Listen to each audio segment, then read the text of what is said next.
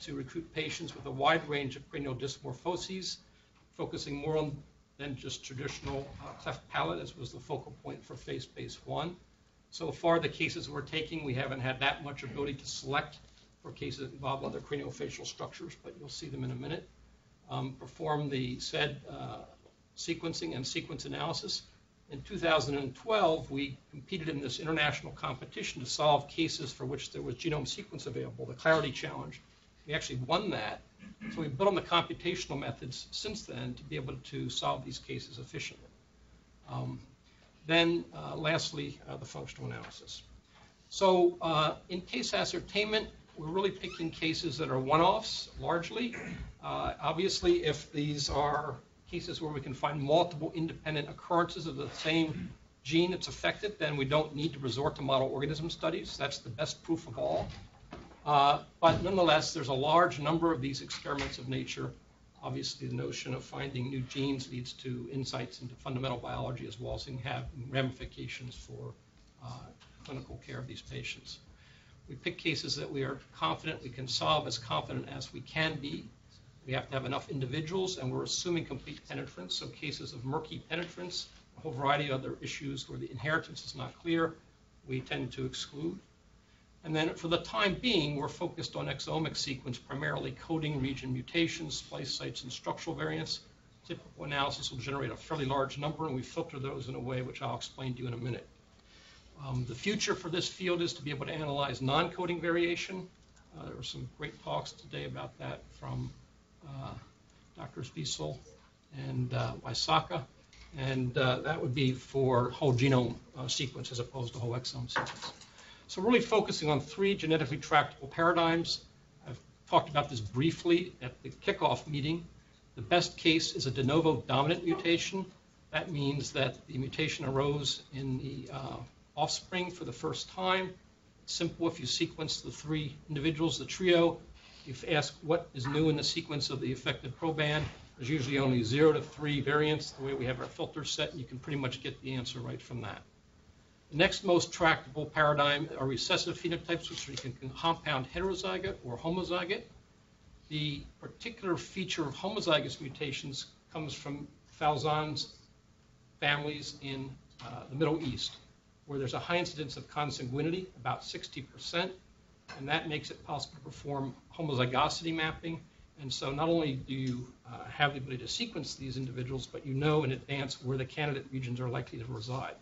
And the combined convergence of those two pieces of information yields a high solution rate in these homozygous cases in consanguineous families. We'll give some examples. The least tractable paradigm is actually counterintuitively the traditional dominant multi-generational inheritance pattern because it generates so many non-synonymous variants in the proband that you can't really limit the number of candidates based on uh, biological and uh, literature principles the case changes if you have additional family members, and so uh, if we have enough additional family members and they're available, we take on these cases, but otherwise we don't. And there are a number of uh, assumptions here about inheritance, as I said. So the first aim is really to take cases uh, close by at Boston Children's Hospital and at King Faisal Specialist Hospital Research Center under Falzon's auspices, and he has a program that really encompasses a large part of the Middle East. Um, we'd also like to begin to attract cases from other face-based colleagues. And I know Pedro Sanchez has cases he'd like to send us, and Ophir has approached me about that. But other cases that you know of from your institutions, we're very eager to hear about. And finally, we have an IRB system that I think allows us to accept cases from other institutions. Uh, there are cases also in the existing face-based one biorepository some of those are actually proving relevant to cases that we'll mention. And last but not least, there's a new NIH undiagnosed disease network that will find patients that have undiagnosed diseases. Some of them are craniofacial, and those is another source that of cases that we can contemplate using. So I'm summarizing cases that we had solved in the past. Many of them were for chromosomal rearrangements.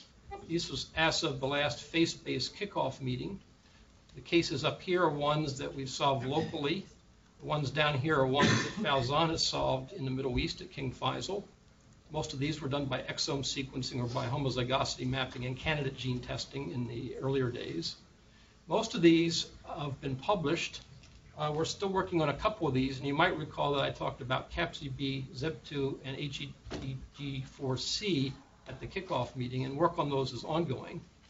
What we've begun to realize is that as you get enough genes, you begin to see connections between them that you wouldn't otherwise have realized. For example, as Eric will talk about in just a minute, CAPZB and SPEC1L seem to interact within the same functional pathway.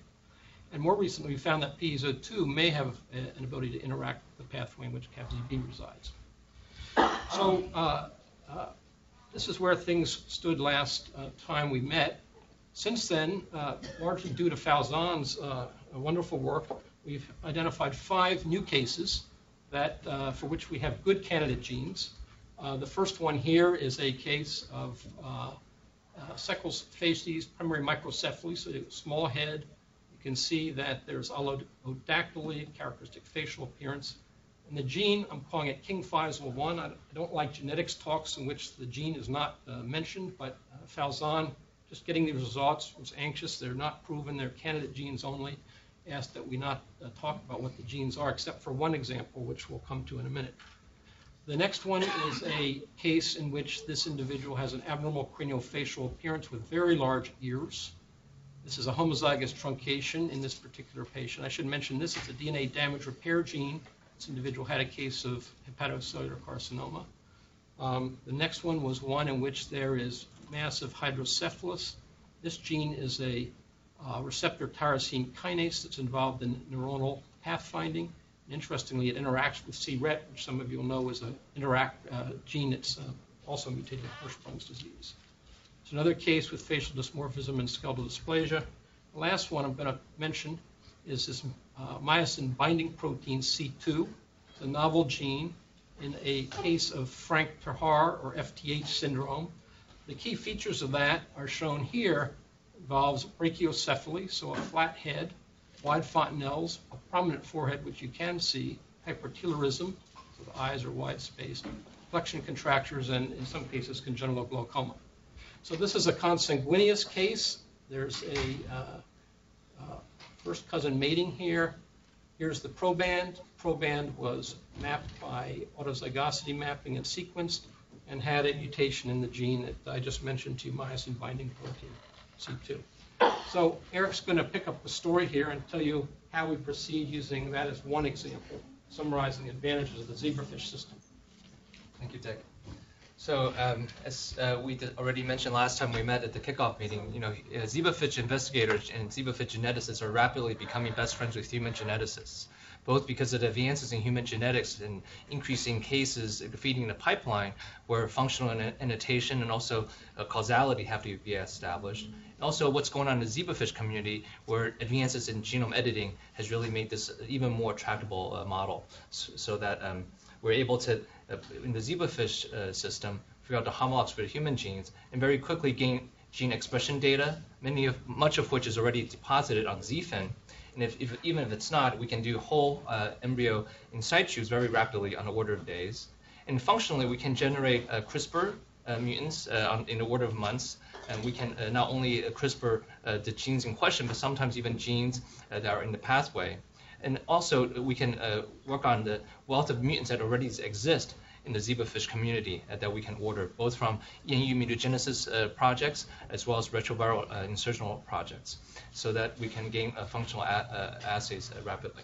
And that's sort of where we draw the line for the purpose of uh, FaceSpace is to rapidly establish causality for human candidate genes and also to do the first order uh, phenotype analysis for the gene uh, function annotation. Beyond that, for mechanism and pathway, either through uh, pathways that emerge from uh, additional genes being uh, annotated or from the work that we will all do together to figure out gene networks. But for, uh, the purpose of this project, this is sort of where we draw the line.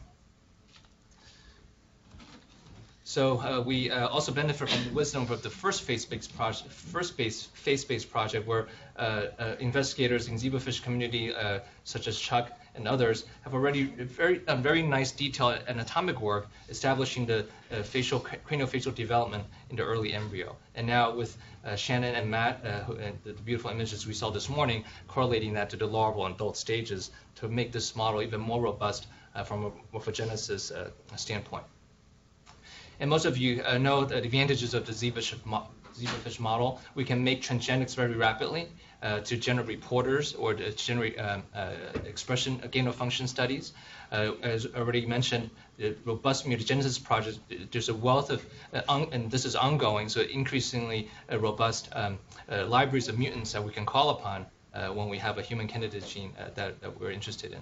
We can now do targeted mutagenesis in a very rapid and specific, efficient manner. So this really, really revolutionized the field. Uh, no longer will, be, will we be wary of the Morpholino data and, and toxicity concerns. Here we'll be able to generate a mutant. That's now rapidly becoming the standard of um, uh, of um, uh, analysis, definitely for our lab and for the community.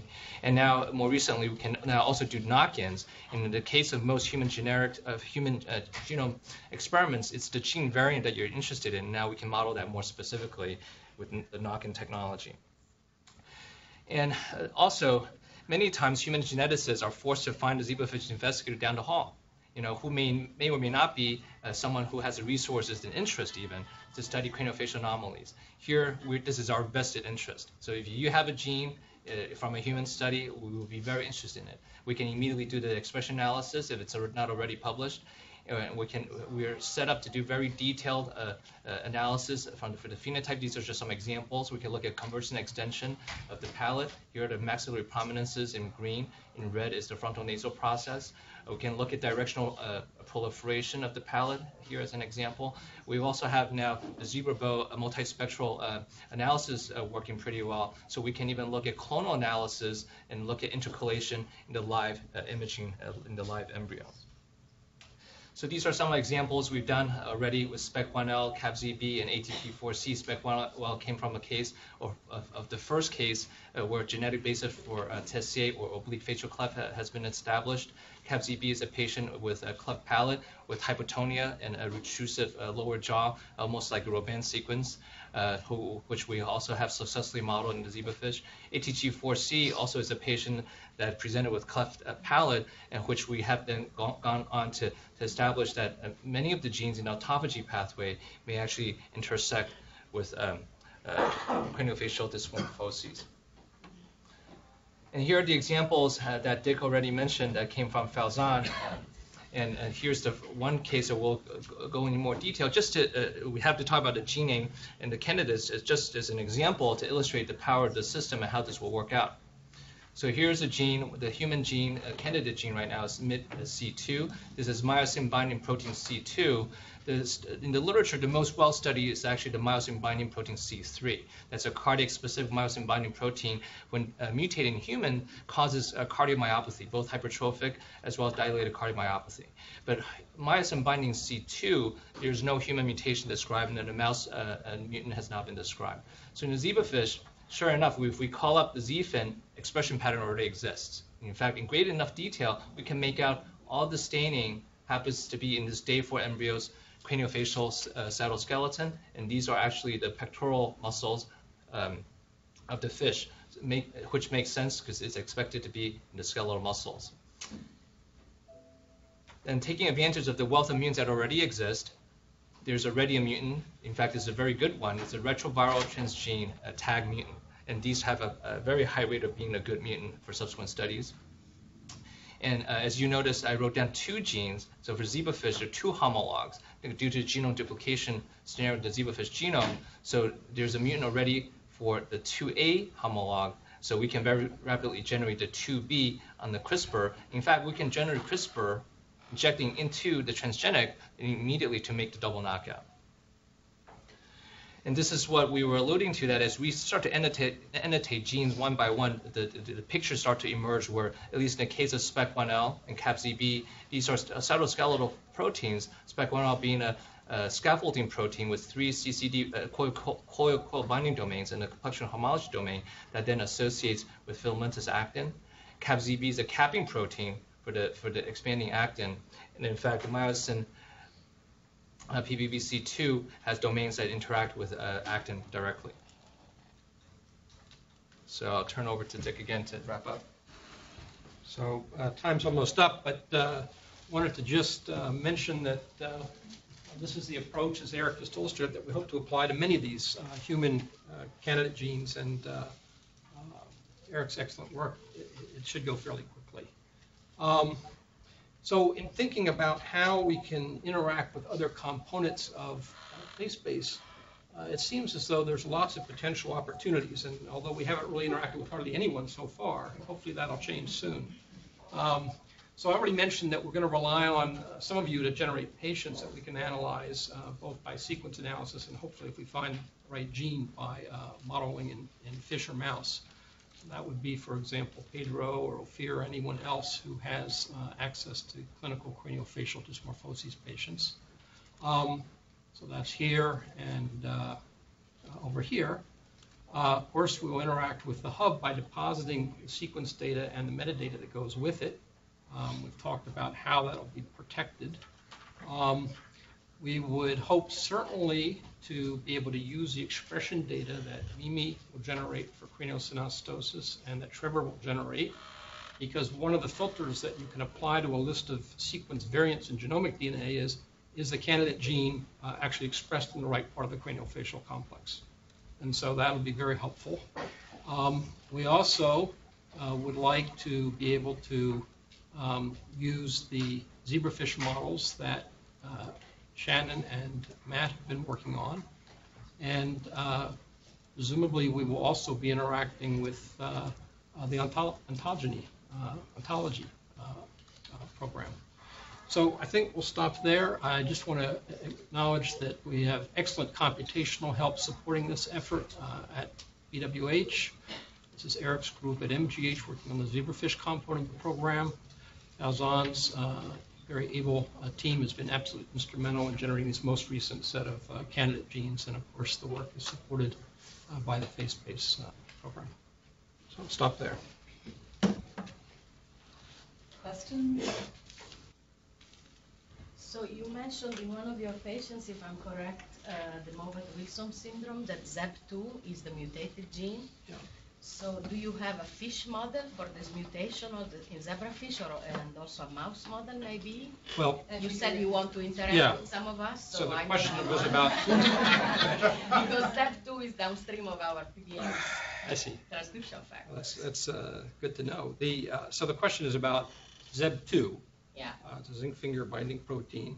Um, I should say for ZEB2, we weren't the first to find that in Mowat-Wilson syndrome. That was actually known. We found an interesting patient. Uh, What we do have is an interesting mouse model uh, from a conditional deletion in craniofacial uh, epithelium. And it uh, has a very, in Mowat-Wilson syndrome, one of the defining features is a uh, mandibular pronathism. It's actually, Eric would refer to it as a class three malocclusion. And the mice actually have that same phenotype. They have a very pointy chin. So uh, it's a nice model because you can dissect the proliferation relates in maxilla and mandible. And what you find is that, uh, contrary to what you might have thought, which would be a hyperproliferation of the mandibular mes- uh, mesenchyme, you see a uh, inhibition of proliferation of both maxilla and mandibular mesenchyme. But that the maxilla is more retarded than the mandible, which gives this very abnormal facial appearance. So ZEP2 is a, I don't know if we have a zebrafish mutant for that yet. Um, It is expressed, um, it's in the BMP signaling pathway, as you might know.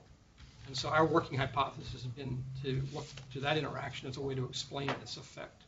Um, But be very interested to hear more about uh, so it's expressed in the ectoderm. ectoderm. of the cranial. I'm sorry. Spoke. Yeah, Rich? So while we're on the topic of ZEB2, when you mentioned it, I looked it up in the G, our GWAS data set, and it comes up as sort of a medium hit. Um, But unfortunately, we weren't able to design a good replication assay for it. that passed PC, and so I'm not sure it even went into the replication study, or if it did, it probably didn't work, just looking at the design scores.